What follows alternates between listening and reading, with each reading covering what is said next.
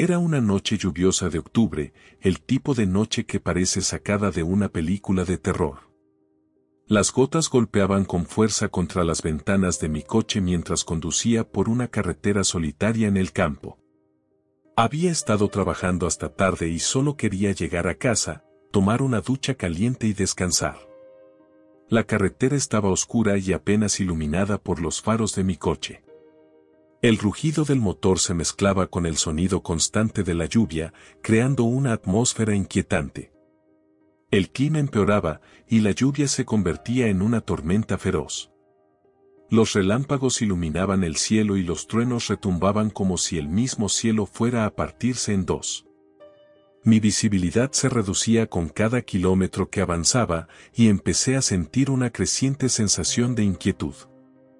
La carretera serpenteaba a través de un bosque denso, y los árboles parecían sombras amenazantes a cada lado del camino. De repente, en un destello de relámpago, noté algo en el borde de la carretera, una figura solitaria empapada por la lluvia, levantando el pulgar en señal de autostop. Al principio, pensé en seguir de largo. Recoger a un extraño en una noche como esa no parecía una buena idea. Pero algo en la mirada desesperada de esa persona me conmovió. Parecía perdido y necesitado de ayuda. Reduje la velocidad y detuve el coche unos metros más adelante. Bajé la ventanilla y, a través de la cortina de lluvia, pude ver mejor al hombre. Era de mediana edad, con la ropa hecha jirones y empapada hasta los huesos. Su cabello estaba pegado a su frente y su cara mostraba signos de agotamiento y miedo. ¿Necesita ayuda? le pregunté, tratando de que mi voz sonara lo más amable posible. El hombre asintió y, sin mediar palabra, abrió la puerta del coche y se metió. Cerró la puerta rápidamente, como si el mismo acto de estar fuera lo aterrorizara. Su expresión era de puro alivio, pero había algo en sus ojos que no me gustó, una especie de desesperación que me puso los pelos de punta. Miró hacia adelante, evitando mi mirada. Arranqué el coche y seguimos nuestro camino. La atmósfera dentro del vehículo era tensa. El hombre no decía nada, y yo tampoco sabía qué decir. Había algo en su presencia que hacía que la oscuridad de la noche y el rugido de la tormenta parecieran aún más opresivos. ¿A dónde se dirige? le pregunté después de unos minutos de incómodo silencio. Su respuesta fue breve y casi inaudible por el ruido de la lluvia. Al pueblo más cercano, dijo con una voz baja y temblorosa. Asentí y me concentré en la carretera, pero no podía dejar de echarle miradas furtivas. Había algo en el que no cuadraba, una sensación de que no era solo el mal tiempo lo que lo había llevado a estar ahí fuera. Mientras avanzábamos lentamente por la carretera mojada, el hombre comenzó a moverse nerviosamente en su asiento.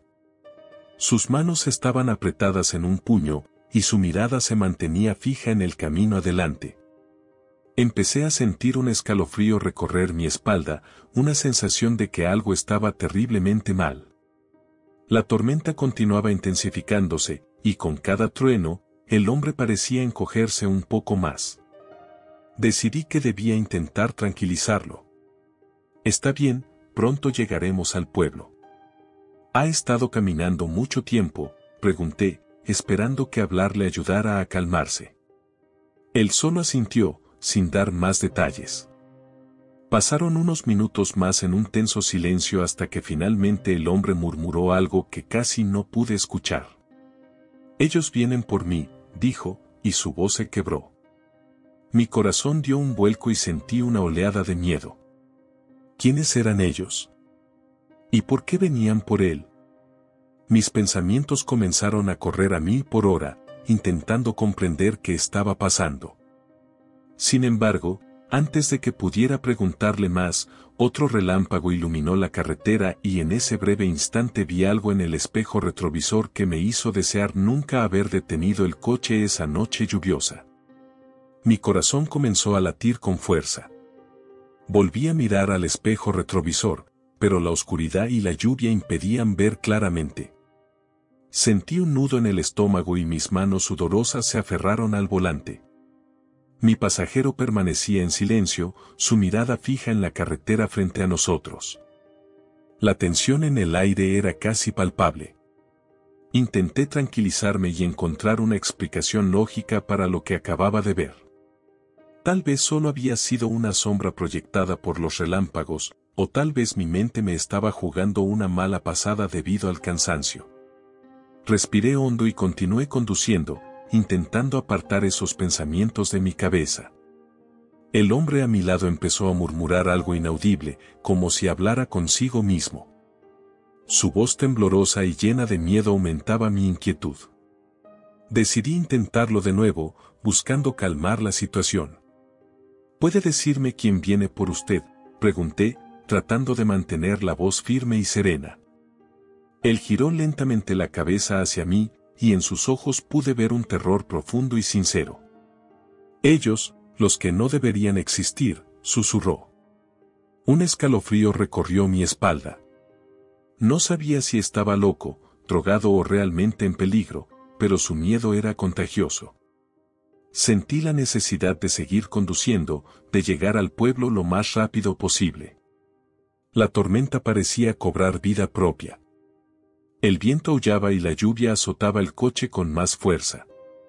De repente, los faros del coche iluminaron algo en medio de la carretera. Frené en seco, y el coche derrapó unos metros antes de detenerse por completo. Frente a nosotros, había una figura de pie en el asfalto, inmóvil bajo la lluvia torrencial. El hombre a mi lado comenzó a temblar y susurrar de manera más frenética. Ya están aquí, ya están aquí, repetía, mientras yo intentaba comprender lo que estaba viendo. La figura en la carretera no se movía, parecía esperar, observándonos.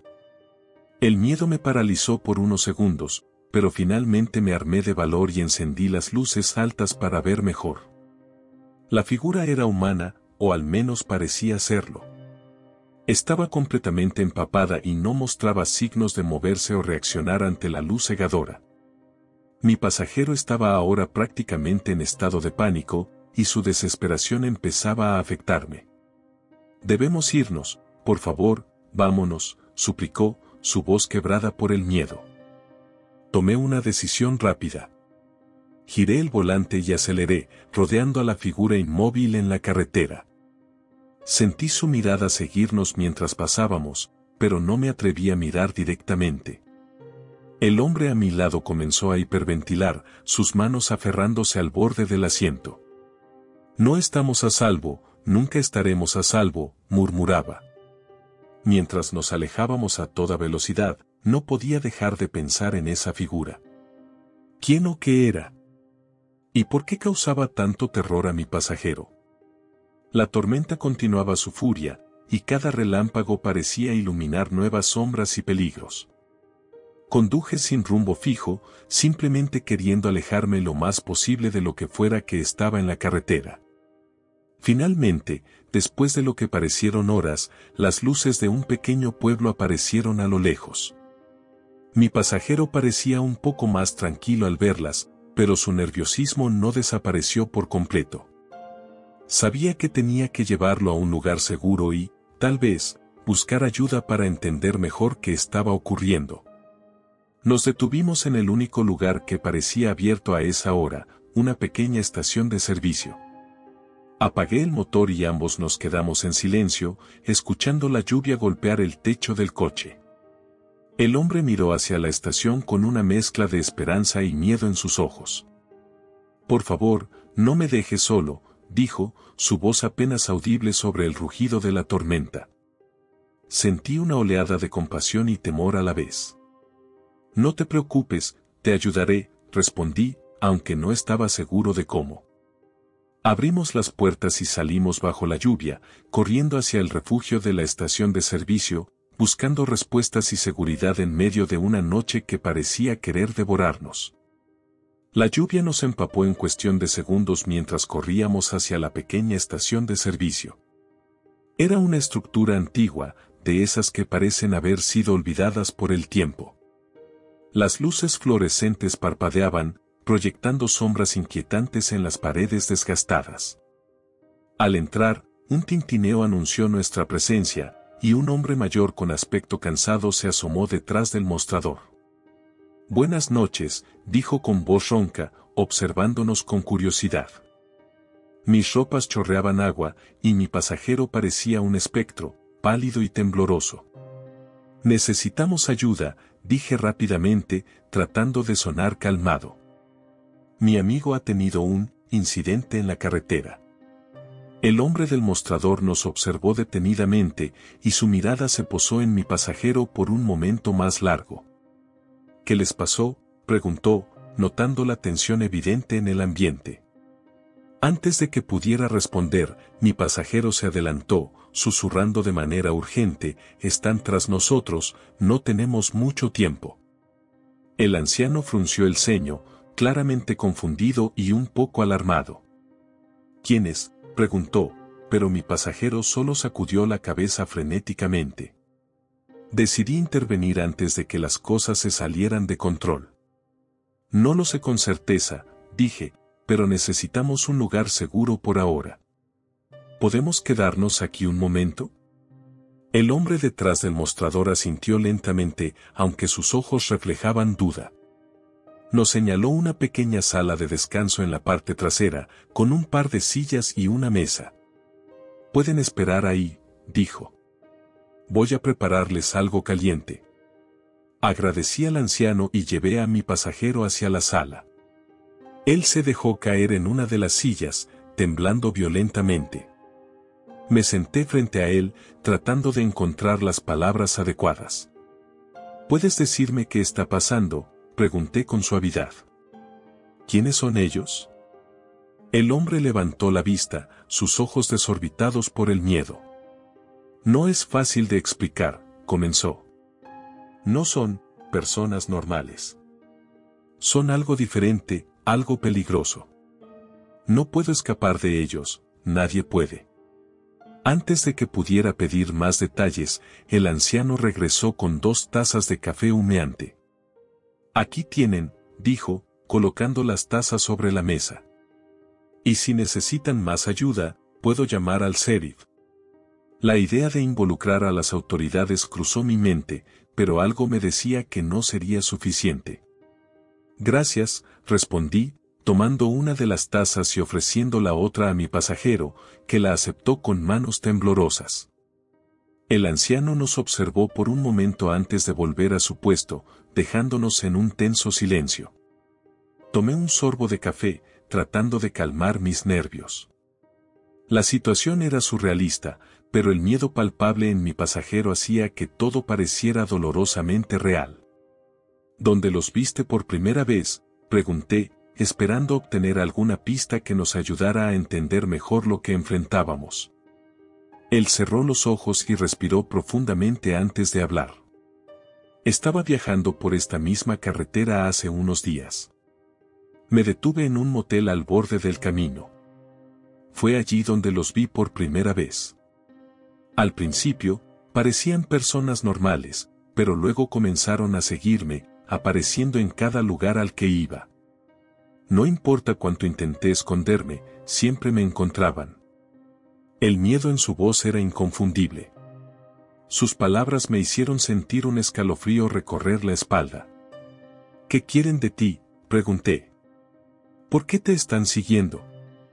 Él negó con la cabeza, desesperado. No lo sé, admitió. Solo sé que no se detendrán hasta atraparme. Y ahora, ahora tú también estás en peligro. La gravedad de su afirmación me golpeó con fuerza. De repente, estar en esa pequeña sala de descanso ya no se sentía seguro.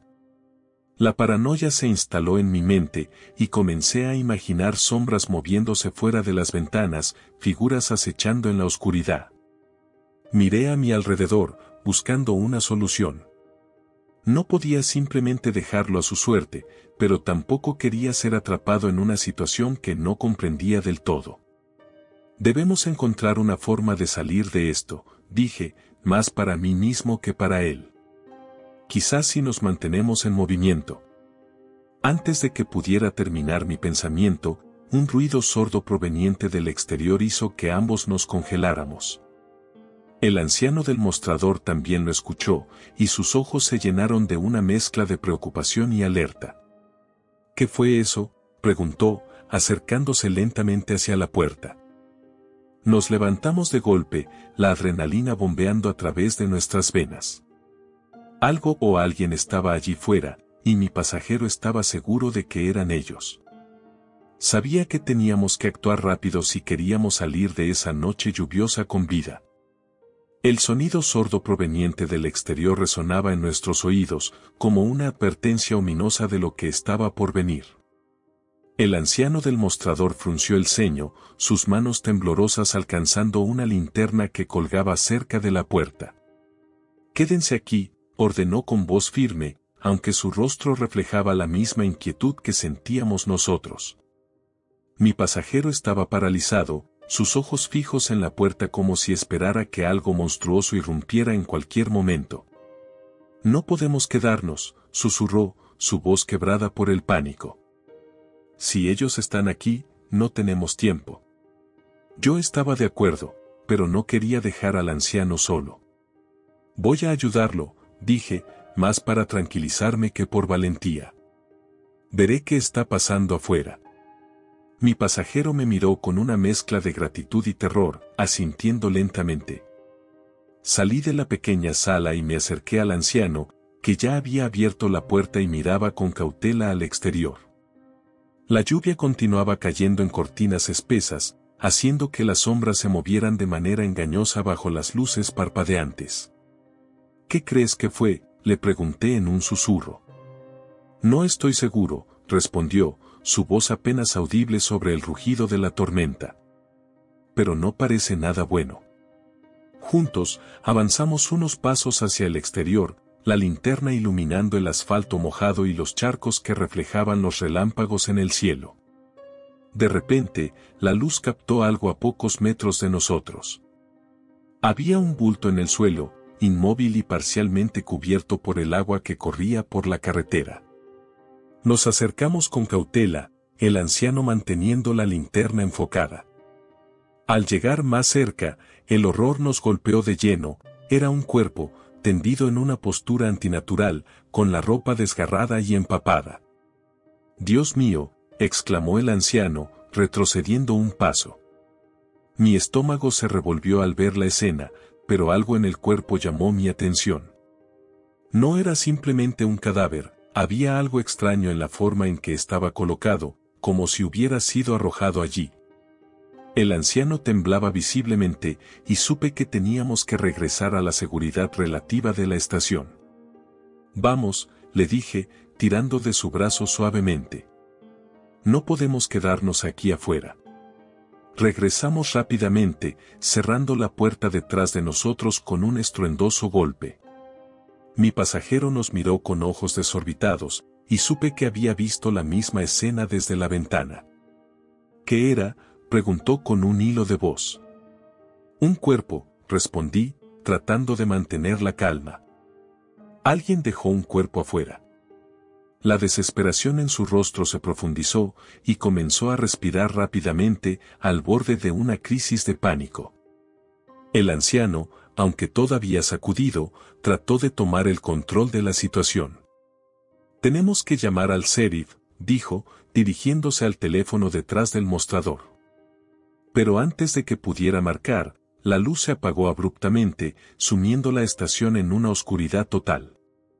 Un grito ahogado escapó de mi pasajero, y el anciano maldijo en voz baja. Maldita tormenta, murmuró, buscando a tientas una vela y fósforos. La oscuridad amplificaba todos los sonidos, y cada golpe de la lluvia contra las ventanas sonaba como un golpe en nuestra frágil seguridad. Encendimos una vela, la luz temblorosa lanzando sombras que danzaban en las paredes. La estación se sentía como un refugio precario, un lugar que apenas podía protegernos de lo que acechaba afuera.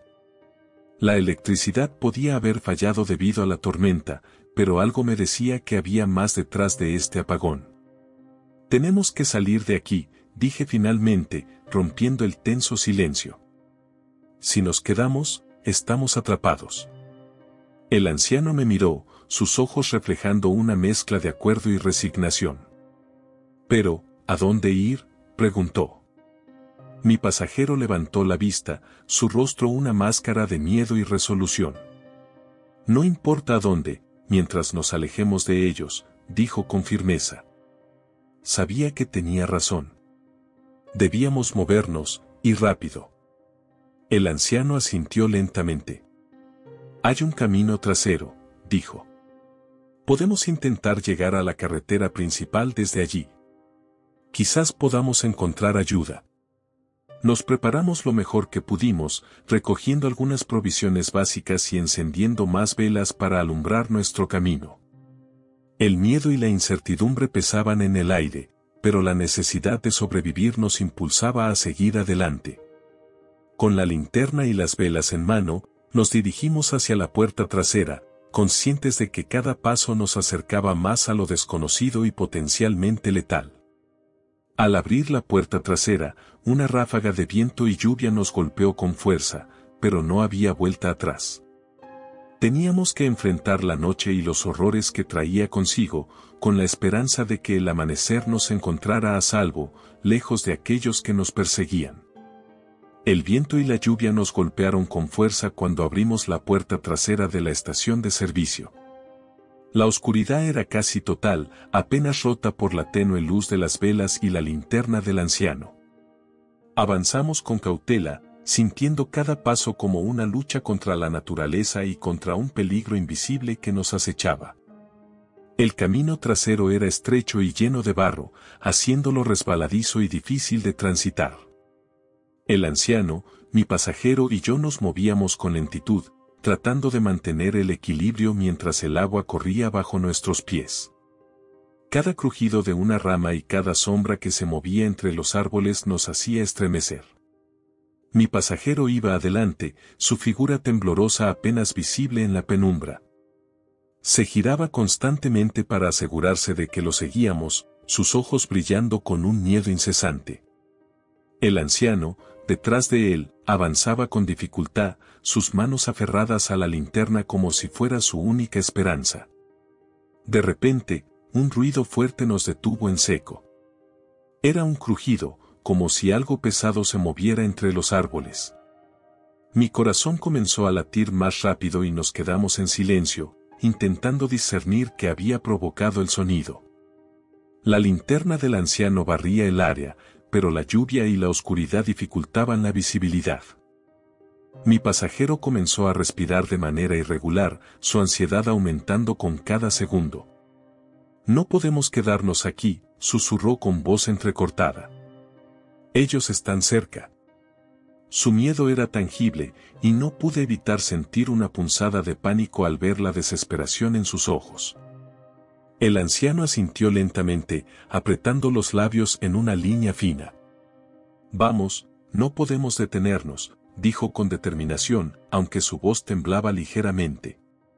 Continuamos avanzando, tratando de ignorar los sonidos que parecían seguirnos. A medida que nos internábamos más en el camino, la vegetación se hacía más densa y el terreno más traicionero. El barro llegaba hasta nuestros tobillos, dificultando cada paso. La linterna del anciano comenzó a parpadear y una sensación de desesperanza nos envolvió. No podíamos permitirnos perder la luz, nuestra única guía en esa oscuridad impenetrable. De repente, la linterna se apagó por completo, dejándonos en una oscuridad casi absoluta. El anciano maldijo en voz baja, golpeando la linterna con frustración. Mi pasajero comenzó a hiperventilar y supe que debíamos hacer algo rápido antes de que el pánico nos consumiera a todos. Tranquilo, Encontraremos otra forma de ver, dije, tratando de sonar más seguro de lo que me sentía. Saqué mi teléfono, esperando que la batería no estuviera agotada. Para mi alivio, la pantalla se encendió, proporcionando una luz tenue pero suficiente para guiarnos. Vamos, sigamos, insistí, usando el teléfono como improvisada linterna. El camino parecía interminable y cada minuto se sentía como una eternidad. La lluvia no cesaba y el frío comenzaba a calar en nuestros huesos. De repente, mi pasajero se detuvo y señaló algo entre los árboles. Mira, exclamó con voz temblorosa. A lo lejos, a través de la lluvia, pudimos ver una luz débil que parpadeaba. Debe ser una casa, dijo el anciano con esperanza. Podemos refugiarnos allí. Sin perder tiempo, nos dirigimos hacia la luz, nuestras fuerzas renovadas por la posibilidad de encontrar un lugar seguro. Cada paso hacia la luz parecía alejarnos de la oscuridad y del peligro que nos seguía. Finalmente, llegamos a un pequeño claro donde se erigía una cabaña vieja pero bien mantenida. La luz provenía de una lámpara en la ventana, proyectando un brillo cálido y acogedor. Nos acercamos a la puerta y el anciano golpeó con fuerza. ¡Ayuda! Necesitamos ayuda, gritó, su voz llena de urgencia. La puerta se abrió lentamente y una mujer de mediana edad nos miró con sorpresa y preocupación. ¿Qué sucede? preguntó, escaneando nuestros rostros llenos de miedo y agotamiento. Por favor, déjenos entrar, imploré. Estamos en peligro. La mujer nos hizo pasar rápidamente, cerrando la puerta tras nosotros. El calor de la cabaña nos envolvió, brindándonos un alivio inmediato. Pero el miedo persistía. ¿Qué les pasó? preguntó, ofreciéndonos mantas para secarnos. Antes de que pudiéramos responder, mi pasajero comenzó a hablar, su voz temblando pero firme. Hay algo allá afuera, dijo. Nos están siguiendo. No sabemos quiénes son, pero no se detendrán hasta atraparnos. La mujer nos miró con incredulidad, pero la seriedad de nuestra mirada la convenció de que no mentíamos. Nos sentamos alrededor de una pequeña mesa, intentando explicar lo inexplicable. El anciano, mi pasajero y yo intercambiamos miradas, sabiendo que la cabaña solo era un respiro temporal en nuestra huida desesperada. La noche no había terminado, y el peligro acechaba, más cerca que nunca. El calor de la cabaña nos envolvía, pero el aire estaba cargado de una tensión casi palpable. La mujer que nos había dejado entrar se movía rápidamente, colocando tazas de té caliente frente a nosotros, mientras nos miraba con una mezcla de curiosidad y preocupación. Tomé una de las tazas, sintiendo el calor reconfortante en mis manos frías y temblorosas. ¿Puedes contarnos más sobre lo que está pasando? preguntó la mujer, su voz calmada y firme.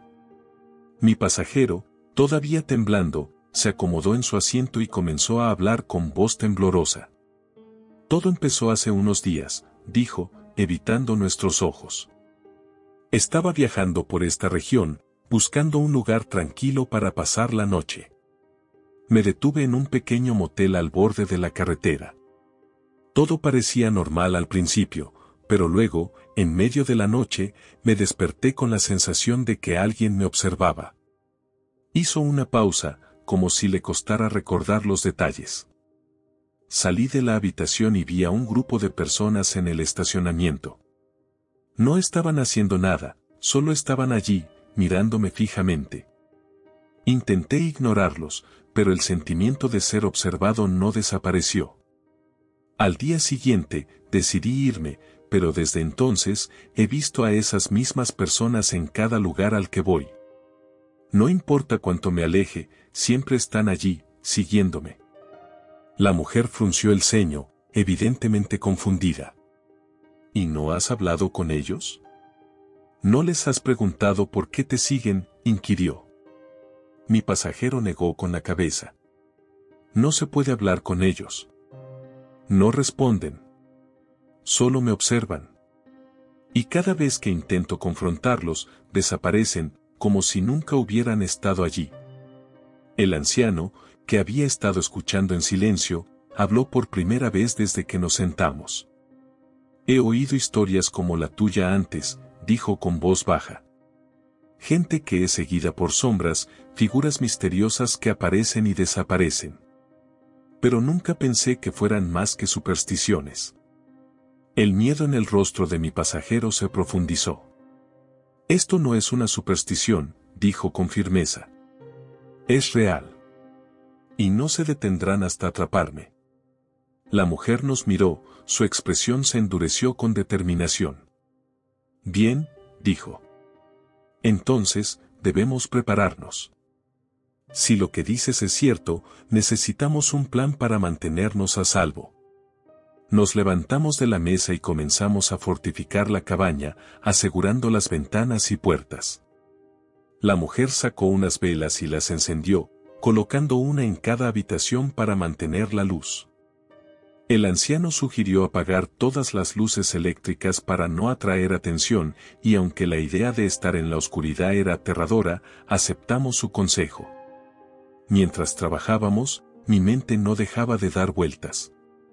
¿Qué querían esas figuras de mi pasajero? ¿Por qué los seguían? Y más importante, ¿cómo podíamos detenerlos? La cabaña era pequeña y aislada, pero no era un refugio perfecto. Podíamos resistir por un tiempo, pero si esas figuras eran tan persistentes como decía mi pasajero, eventualmente nos encontrarían. De repente, el silencio de la noche se rompió con un golpe fuerte en la puerta. Nos quedamos inmóviles, escuchando con el corazón latiendo en nuestras gargantas. Otro golpe, más fuerte esta vez. La mujer hizo un gesto para que nos quedáramos quietos y se acercó a la puerta, su respiración temblorosa. ¿Quién es? preguntó, tratando de sonar valiente.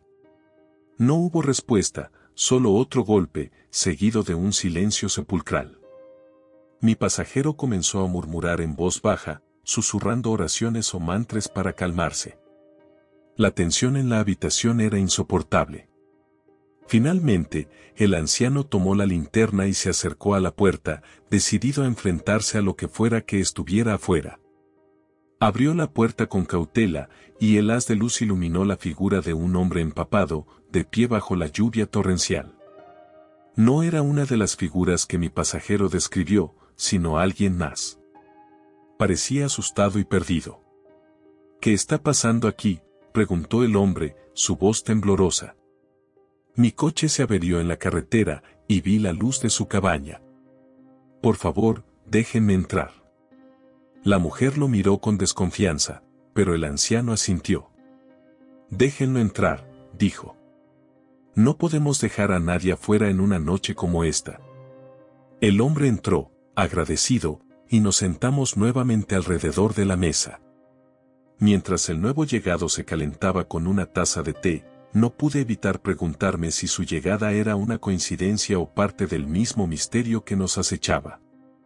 Con cada minuto que pasaba, la noche se hacía más densa y opresiva. Sabíamos que no estábamos solos y que el verdadero desafío aún estaba por venir. Cada sonido, cada sombra, nos recordaba que estábamos en una batalla por nuestra supervivencia, una batalla que no estábamos seguros de ganar. El nuevo visitante se acomodó cerca del fuego, tratando de sacudirse el frío y la humedad de la tormenta. Sus ojos, oscuros y cansados, recorrieron la habitación, evaluando a cada uno de nosotros con cautela. Mientras bebía su té, el silencio se hizo pesado, cargado de incertidumbre y temor. El anciano fue el primero en romper el silencio. ¿Qué te trajo aquí, en una noche tan terrible? preguntó, su voz un susurro cansado. El hombre miró a su alrededor antes de responder, como si estuviera buscando las palabras adecuadas. Mi coche se averió en la carretera, dijo finalmente.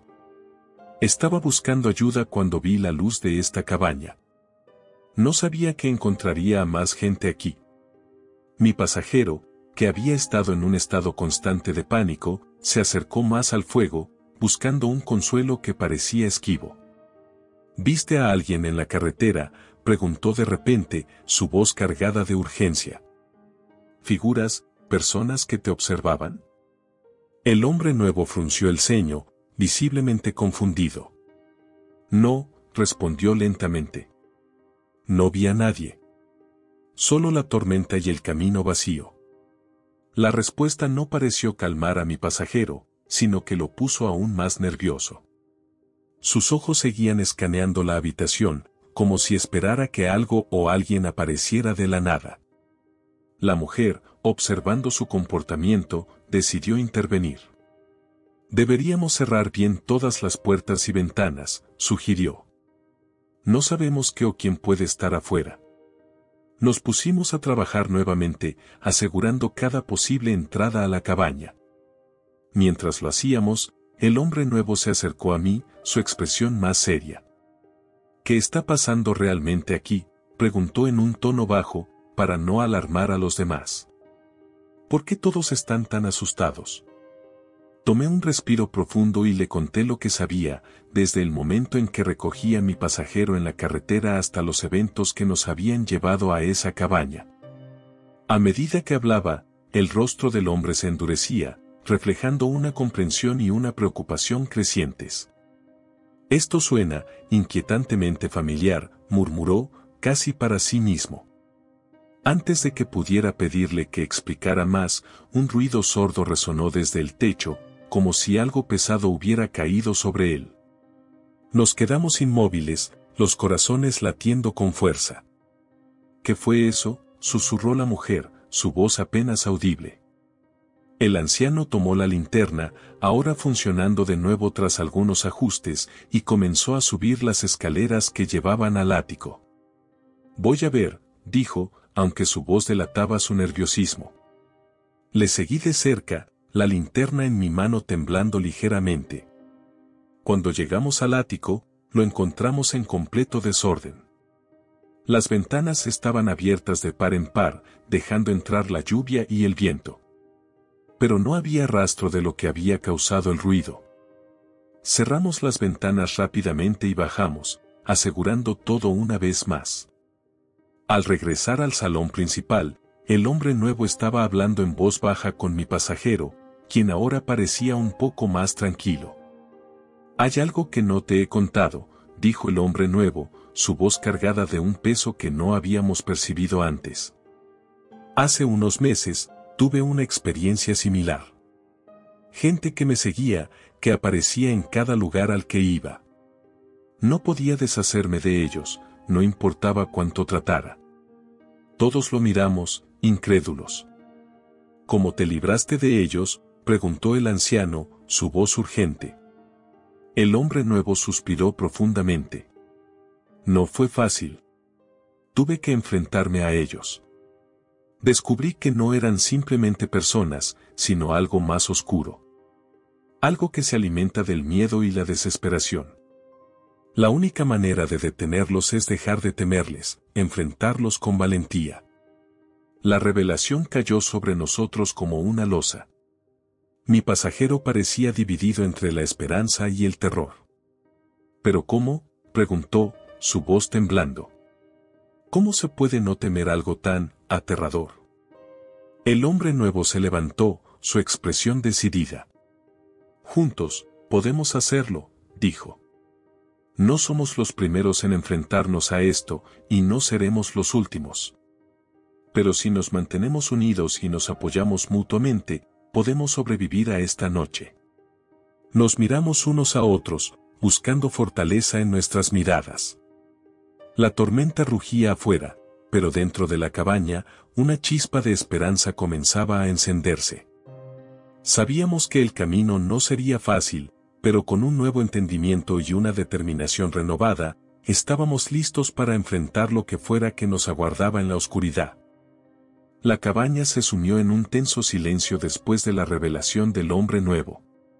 Cada uno de nosotros procesaba sus palabras, buscando en nuestro interior la valentía necesaria para enfrentar la amenaza invisible que nos acechaba. La tormenta seguía rugiendo afuera, pero dentro, una resolución silenciosa comenzaba a tomar forma. El anciano fue el primero en romper el silencio. Necesitamos un plan, dijo, su voz firme. Si enfrentarlos es la única forma de detener esto, debemos estar preparados. Nos reunimos en torno a la mesa, delineando nuestras ideas. La mujer sugirió que utilizáramos la estructura de la cabaña a nuestro favor, asegurando cada posible entrada y creando un perímetro defensivo. Mi pasajero, aunque todavía tembloroso, propuso que permaneciéramos juntos en una sola habitación, para poder apoyarnos mutuamente y no dejarnos llevar por el miedo. El hombre nuevo, que parecía más experimentado en este tipo de situaciones, nos guió en la creación de barricadas improvisadas y en la organización de turnos para vigilar las ventanas y puertas. Nos armamos con lo que pudimos encontrar, utensilios de cocina, herramientas y cualquier objeto que pudiera servir como arma en caso de emergencia.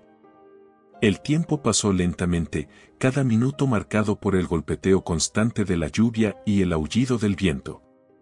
La tensión era palpable, pero también lo era la determinación. Estábamos decididos a no sucumbir al miedo, a enfrentar lo que viniera con la mayor valentía posible. De repente, un golpe fuerte resonó en la puerta principal. Todos nos pusimos en alerta, nuestros corazones latiendo con fuerza. El anciano y yo intercambiamos una mirada, sabiendo que el momento había llegado. Con la linterna en mano, me acerqué a la puerta, los demás detrás de mí, preparados para lo peor. Otro golpe, más fuerte esta vez. Mi respiración se aceleró, pero traté de mantener la calma. ¿Quién está ahí? grité, tratando de sonar más seguro de lo que me sentía. No hubo respuesta, solo otro golpe, más insistente. El hombre nuevo se acercó a mi lado, su expresión seria. Tenemos que enfrentarlos, susurró. No podemos permitir que el miedo nos controle. Con un gesto decidido, abrimos la puerta de golpe, la linterna iluminando la figura que estaba afuera. Para nuestra sorpresa, no era una figura fantasmagórica ni una sombra amenazante. Era un hombre joven, empapado y temblando de frío, con una expresión de desesperación en su rostro. Por favor, ayúdenme, dijo con voz entrecortada. Están detrás de mí. No sé cuánto tiempo más podré escapar. Lo hicimos entrar rápidamente, cerrando la puerta detrás de él. El joven se desplomó en una silla, su cuerpo sacudido por los escalofríos. ¿Quién te está siguiendo? Preguntó la mujer, ofreciéndole una manta para calentarse. Las mismas figuras de las que ustedes hablan, respondió, sus ojos llenos de terror. Aparecieron hace unas semanas. No importa a dónde vaya, siempre están ahí, observándome. El anciano asintió lentamente, comprendiendo que nuestra lucha no era única. Estamos juntos en esto, dijo con voz firme. Si queremos sobrevivir, debemos enfrentarlos juntos. Nos armamos de nuevo, esta vez con una determinación aún mayor. La presencia del joven nos recordó que no éramos los únicos que enfrentábamos este terror, y eso, de alguna manera, nos dio fuerzas. Decidimos abrir todas las ventanas y puertas, dejando entrar la tormenta y la oscuridad. No íbamos a escondernos más. Nos posicionamos en la sala principal, formando un círculo, cada uno con una linterna en mano. La luz vacilante proyectaba sombras inquietantes en las paredes, pero no dejamos que nos afectara. Sabíamos que el enfrentamiento final estaba cerca. Las primeras figuras aparecieron lentamente, como sombras emergiendo de la oscuridad. Sus ojos brillaban con una intensidad inhumana, llenos de una malevolencia que hacía que mi piel se erizara. Pero no retrocedimos. Nos mantuvimos firmes, enfrentándolos con la luz de nuestras linternas y la fuerza de nuestra determinación. Ellos avanzaron, sus formas nebulosas haciéndose más definidas a medida que se acercaban. Mi pasajero comenzó a recitar en voz alta, sus palabras llenas de convicción. No les tenemos miedo, dijo, su voz ganando fuerza con cada palabra. No pueden controlarnos. El hombre nuevo y el anciano se unieron a él, sus voces creando un coro de resistencia. Sentí una oleada de valor y me uní a ellos, repitiendo las mismas palabras. La habitación se llenó de nuestra determinación y por un momento las figuras parecieron vacilar. El enfrentamiento fue intenso, pero nuestra unidad y valentía comenzaron a surtir efecto. Las figuras retrocedieron, desvaneciéndose en la oscuridad como si fueran sombras disipadas por la luz del amanecer. Sabíamos que la batalla no había terminado, pero habíamos ganado una importante victoria. Nos quedamos en silencio, la realidad de lo que habíamos logrado asentándose en nuestras mentes. Habíamos enfrentado nuestro miedo y habíamos triunfado, al menos por ahora. La tormenta afuera comenzaba a amainar y un rayo de esperanza iluminó nuestro refugio. Estábamos heridos y agotados, pero juntos sabíamos que podíamos enfrentar cualquier cosa que la noche nos arrojara. Habíamos encontrado la fuerza en nuestra unión, y con eso, enfrentamos la oscuridad con renovada determinación. La noche aún no había terminado, pero estábamos preparados para lo que viniera, con la convicción de que, juntos, podíamos sobrevivir a cualquier tormenta.